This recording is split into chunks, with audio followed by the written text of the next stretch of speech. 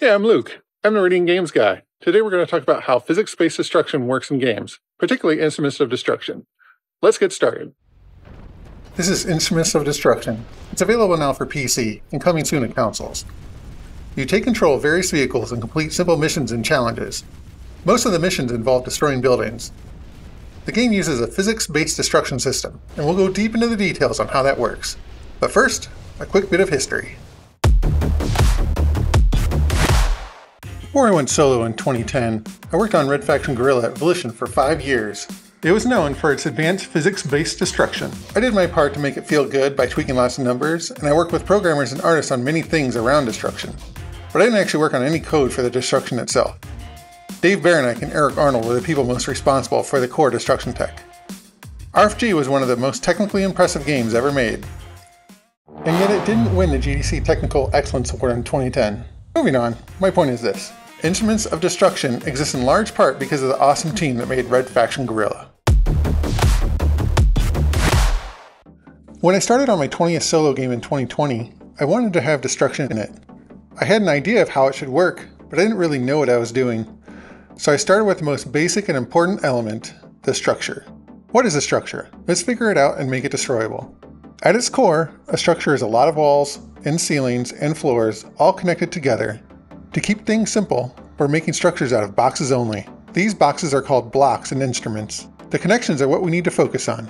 We need to figure out which blocks to connect, and we need to let the physics system know how to connect the blocks. For deciding what to connect, we'll expand the blocks a tiny bit and see if they intersect. If they intersect enough, they connect, no problem. There are a couple ways to connect blocks together. The first is to combine all the blocks into one object. The second is to have each block be its own object and add one joint per connection.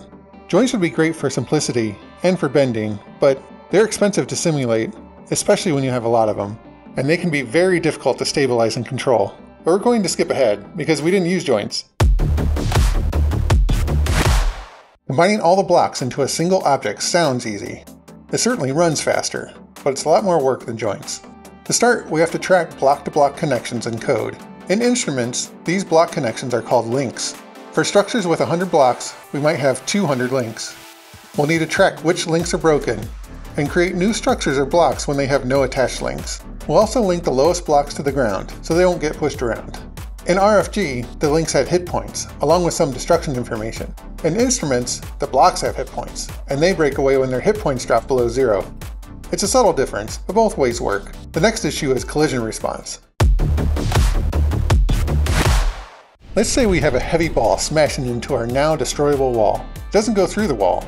It acts like it hit a solid wall because it was solid at the moment of impact. In Guerrilla, I believe this problem was solved the correct way. Roll back the physics sim, and break off the pieces, and run the simulation again. I did not figure out how to roll back physics. Instead, we can just hack away at this problem until things look good enough. In the collision event, we move the ball forward somewhat, and add back most of its previous velocity. We'll need to tell the broken off pieces where to go to, but that's not hard and it looks fine? This is our first hacky solution, and certainly not the last. The individual blocks we break off can further break into smaller blocks. This helps add more destruction without having as much initial complexity. Look at this structure, suspended by a very skinny support. It looks like it should fall down, but it won't. It has no concept of hit points or lengths or how much mass it's supporting, but it's not too difficult to solve the issue. Let's start by arranging the blocks into layers. Each layer is the number of links to go from the block to the ground. Now that all the blocks have layers, we can add up how much mass and how many hit points each layer has. Do it from the top down, and we can track the total mass the layer is supporting. If our layer has a very high mass to hit point ratio, we'll apply some damage to it and maybe even a bit to adjacent layers to make it more natural. If it doesn't break the structure and we're over a certain ratio, we'll just run the calculations again a moment later. It ends up being a fast and reliable solution, as long as we get the math right. And we'll add another hack or two to make offset sections fall faster. There are a couple other events where we need to run some special code. When a structure hits the ground after falling over, or hits another structure, it'll take a lot of damage, but only at the point of impact. Everything else is fine so we need to spread the damage out. Theoretically, it should spread out along the link blocks. For instruments, the system is simpler. Damage spreads in a small sphere, along a flat plane, or very randomly. It's not correct, but it's fast, can be used for multiple things, and didn't take too long to do. At this point, we have our destruction system essentially done and working, but it doesn't feel as good as it could. Particle effects will help. But there's more to do first. Structures need more detail, blocks to break into debris, and damaged blocks don't look damaged. Decals in games can mean many things, but they usually refer to a special texture or small mesh attached to a larger object. For instruments of destruction, a decal looks similar to other blocks and structures, except they are fake in many ways. They are intended to add detail to a structure and to its destruction for lower cost. They have no collision until they break off the structure. They have no concept of links, though they are attached to a block. They don't break into smaller decals, but they deform after they break off. Debris pieces are basically the smallest kind of physics-based object in the game. Like decals, they will collide with larger objects like blocks, but not with other debris or decals. Some debris has trails of particles attached. There are collision-only pieces with particle trails too. Debris pieces disappear after a certain amount of time, or when enough new debris is created. Like decals and blocks, debris pieces use shader-based deformation. Decals and debris have deformation across their entire mesh, but each side of a block can independently render as deformed or not. Deformed sides can also display rebar, depending on the material.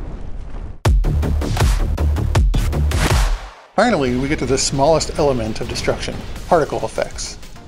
Instruments of Destruction uses a custom GPU particle system. The coolest thing about the particle system is the collision detection. Even the small mesh particles collide with the structures, world, and player vehicle. The collision isn't realistic, but adds just enough to make the particles feel like they're part of the world.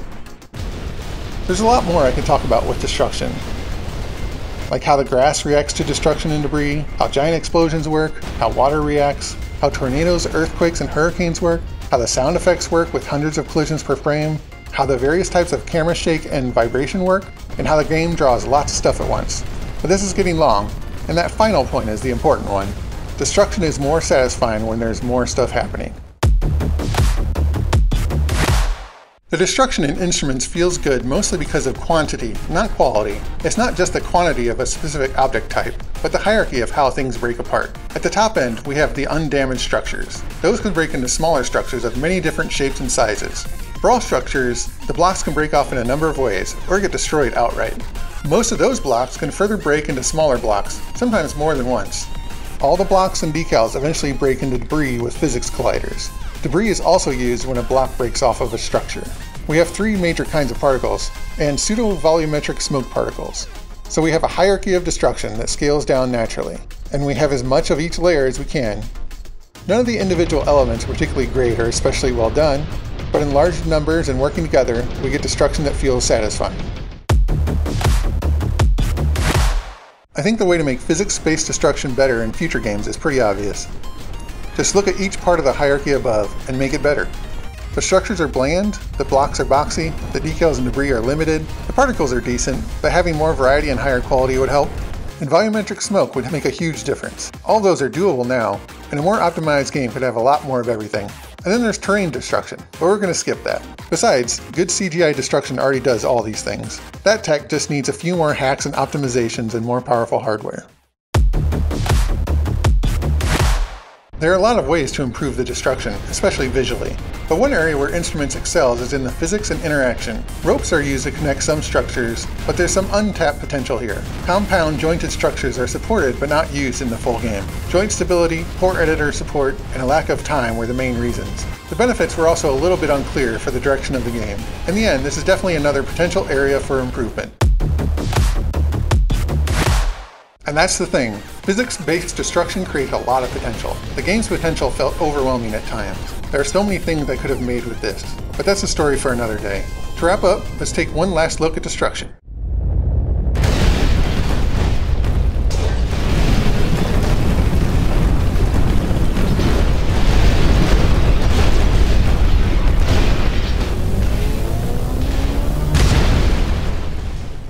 Like Instruments of Destruction, this video is a lot of work, so be sure to give it a thumbs up if you liked it.